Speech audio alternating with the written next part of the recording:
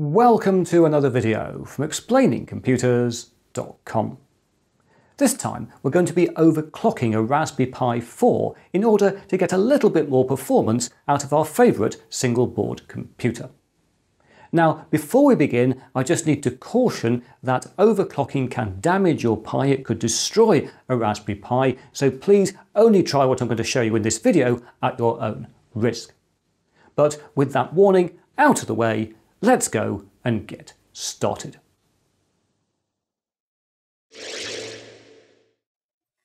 Right, here we have the Raspberry Pi 4 we're going to overclock, which is an 8GB model running Raspberry Pi OS from an SSD, and it's fitted with an Ice Tower heatsink and fan as we need decent cooling for overclocking.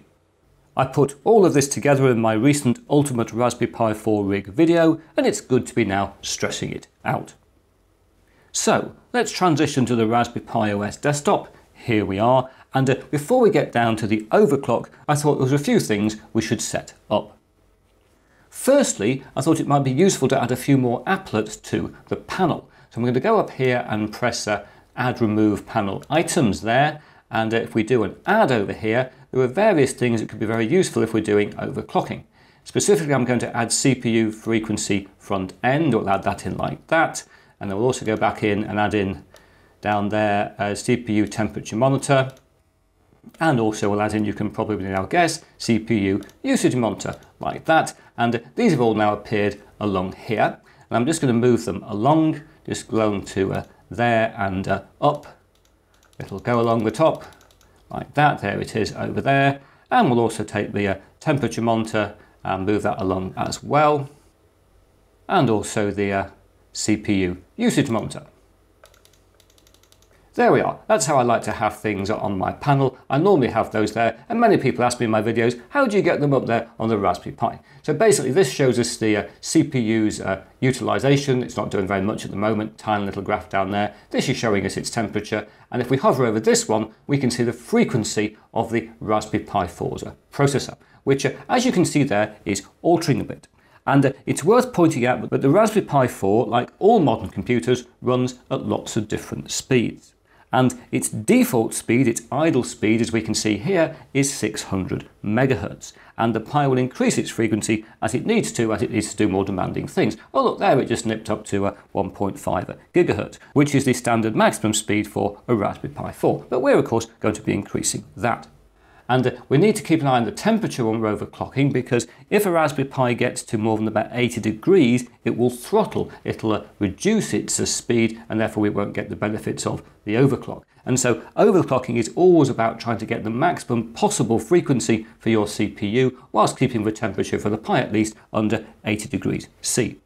And you might therefore be thinking, what you told us earlier, Chris, about the fact you could damage your Pi by overclocking, that's got to be wrong because if a Pi gets too hot, it'll simply throttle itself back, reduce its speed, it won't get damaged. And that's, that's great in theory and normally is true. However, you might remember back in my first ever Raspberry Pi 4 cooling video, we had a Raspberry Pi 4 running at a good 90 degrees centigrade for a long period of time. It can happen. The mechanisms for throttling don't necessarily always save a processor. So if you are going to be overclocking a Raspberry Pi or anything else, be aware there is always a slight risk of damage to the silicon. So do everything at your own risk.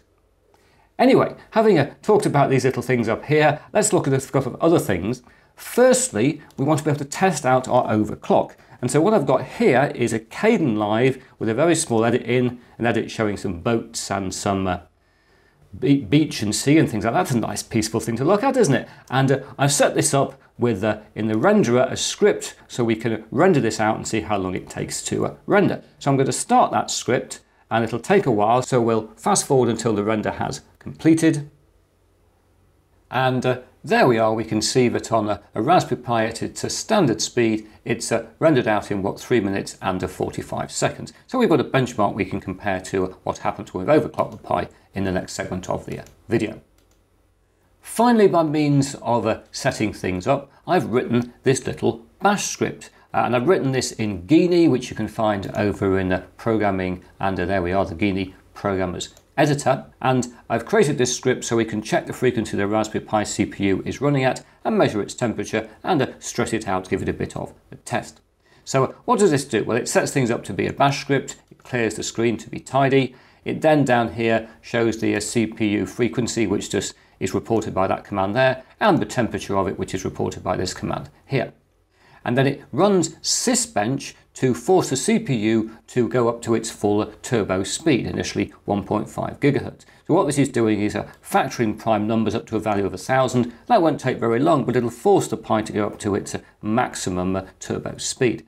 And on the end of this, there's a bit of code that just suppresses the output to stop us having too much stuff coming up on the screen. And it is worth pointing out before you can run this script, you must have installed sysbench on your Raspberry Pi by going to a terminal and typing a sudo apt install sysbench.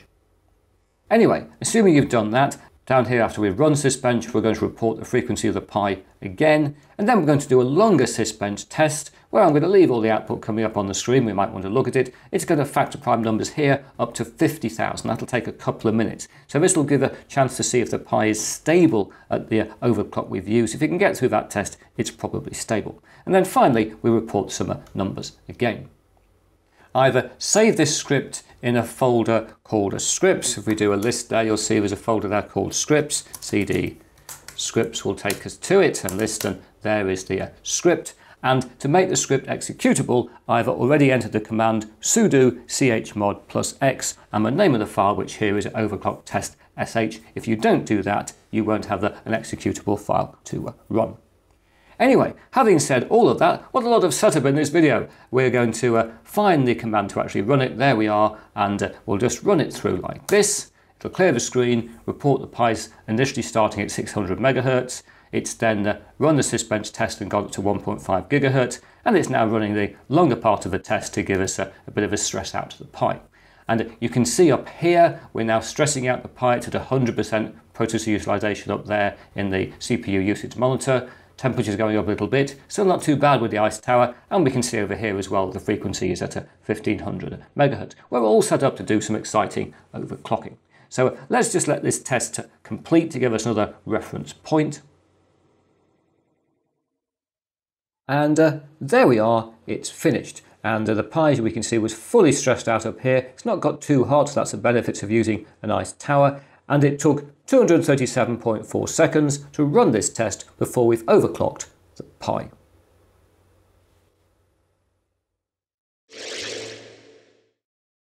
Greetings! Here I am back again in Raspberry Pi OS and it's now time to uh, implement our overclock. Yes, good things come to those who wait. Patience is a virtue and all that kind of stuff.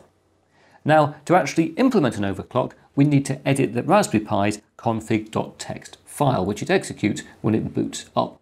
And there's various ways you could edit this file. I'm going to use Geany, the editor we were looking at in the last section where I wrote my bash script. There it is. But if I run Geany from the menu, it won't run in root mode. It won't be able to uh, alter the config.txt file. So what I'm going to do is to go to a terminal and type a sudo Geany like that to run Geany in root mode so we can actually alter the config.txt file.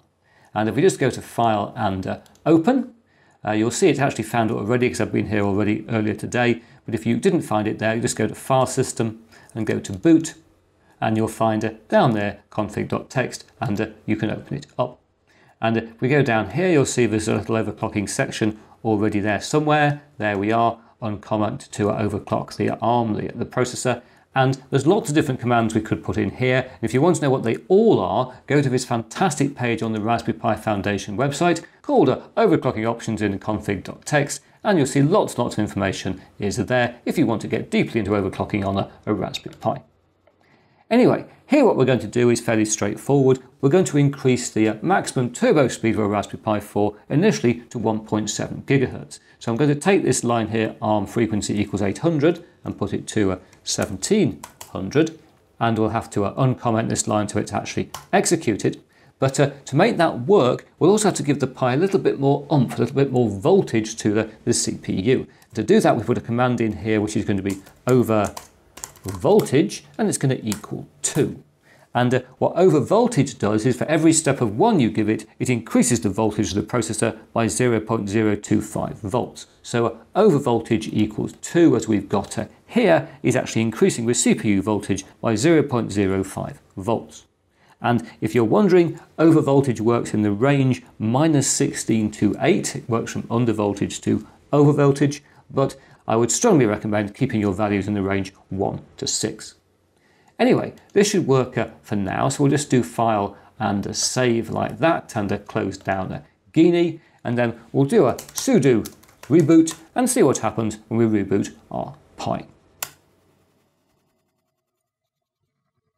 And uh, here we are coming up again. I will speed through, of course, till we've uh, fully rebooted. And uh, there we are. We have a successful reboot. We haven't uh, messed things up so far, which is always uh, good to see. And uh, we now need to use the script we did earlier to check out what is going on. So let's just do a, cd scripts to get where we were and just remind ourselves what it was. There we are. It must be sitting in the buffer somewhere. There we are, and if we now execute our overclock test, there we are, you'll see, yes, the Pi started off at a 680 megahertz, but has gone up to a 1.7 gigahertz, which is what we wanted, and it's now running through the longest sysbench test, hopefully in a stable fashion, seems to be stable so far. So we'll let this test complete and see what kind of result we get. And uh, there we are, it is completed. These things seem to be stable still. The uh, Pi is running at a, at a high, oh, it's dropped down to 680 megahertz already. Look, it doesn't hang around at the higher speeds, does it? Processor utilization there was clearly very high, temperatures absolutely fine, and it executed the test in what, 209.35 seconds. So a significant improvement in performance from the 237.4 seconds it took on our 1.5 gigahertz Raspberry Pi 4. So uh, let's also do the Kdenlive test. This will be very interesting, I think. A real world test of uh, an overclocked Pi. And we'll just bring in our uh, test file like that and go to a render and our script is sitting there already. So let's uh, run the script. And uh, here we are heading towards completion, a few seconds left. I just wanted to point out that whilst the Pi is going at its uh, maximum speed here, 1700 megahertz, our fantastic overclock, we're not getting full processor utilization doing a render out in uh, Kdenlive. Not like we get the full processor utilization running the Sysbench test. This is after all a real world test, but uh, let's see is it going to finish. There we are, yes, the Pi is uh, dropped down its speed again, and it's rendered out in what, uh, 3 minutes and uh, 24 seconds. So we have had some improvement here. It was 345 before, but it's not quite as big an improvement as you might expect with a level of overclock, but uh, still we will soldier on and overclock things some more.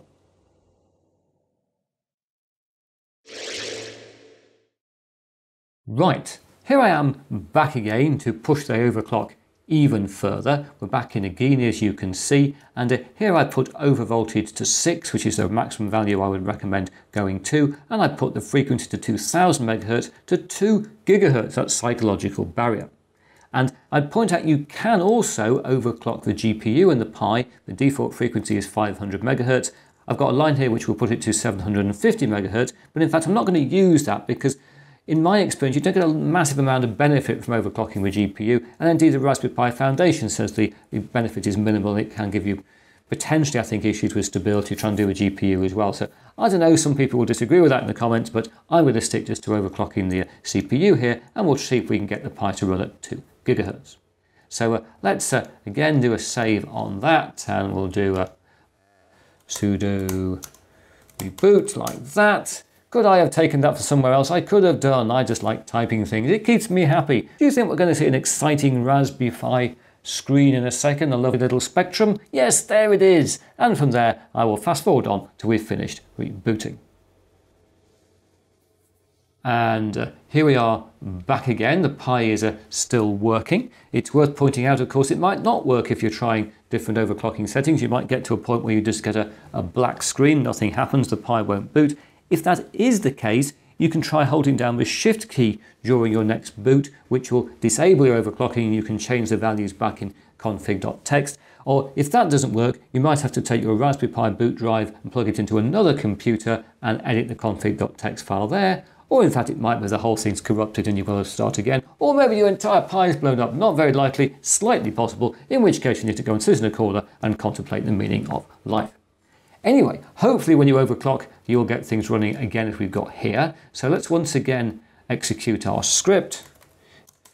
Bits like that. Why don't I use CD scripts from the thing? I don't know. Anyway, let's run it there. And um, yes, we've got our two uh, gigahertz there and it's showing up here as a 2 uh, gigahertz. That's fantastic. So uh, let's see if this test will stably complete. And uh, there we are. We do seem to be stable and working okay. We're down to a 177.9 seconds, a significant improvement from what we saw previously. So let's straight in and also repeat our uh, live test. And here we are waiting to go. Let's start the script. There we are, it's going. Highs again up to uh, its uh, 2 gigahertz speed. Let's see how long this one takes to complete. And uh, there we are, we've broken the 3 minute barrier now, 2 minutes 57 seconds to uh, render this out on our 2 gigahertz overclocked Raspberry Pi 4. And in fact, let's throw all the results so far onto a table so we can see exactly what is going on. We've got some significant performance improvement here now. In theory, of course, these results will be improving in a directly proportional way. I've not worked it out. Maybe someone will work it out and let us know in the comments, and we'll all thank you greatly for your, your kind calculations. Anyway, as impressive as this is, I wouldn't mind seeing if we can't just push things a little bit further.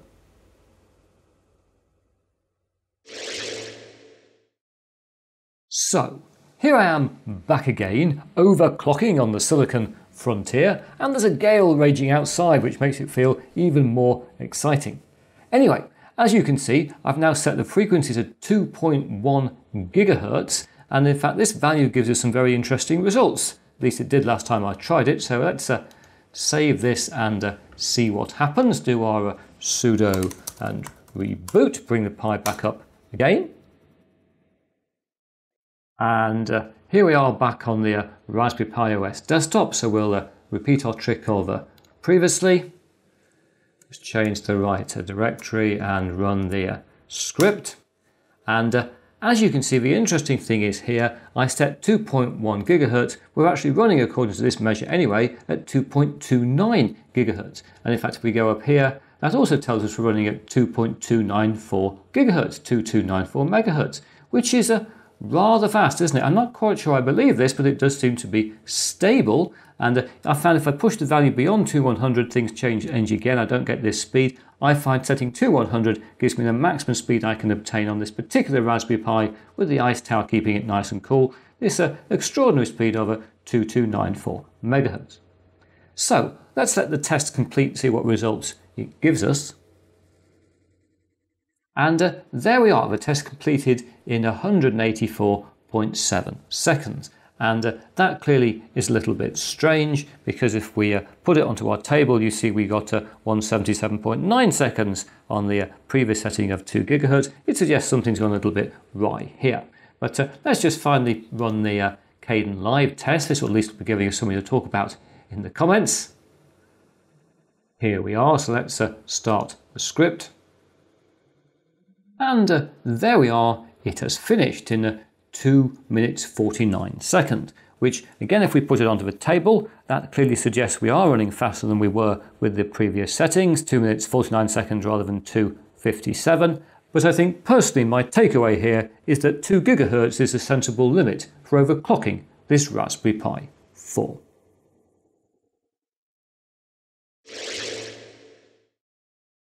So there we are, we've managed to make a Raspberry Pi 4 run a little bit faster. As I said at the start of this video, please be aware that overclocking can damage a Raspberry Pi, it can destroy a Raspberry Pi, so please only try anything I've shown you here at your own risk. But now that's it for another video. If you've enjoyed what you see here, please press that like button. If you haven't subscribed, please subscribe, and I hope to talk to you again very soon.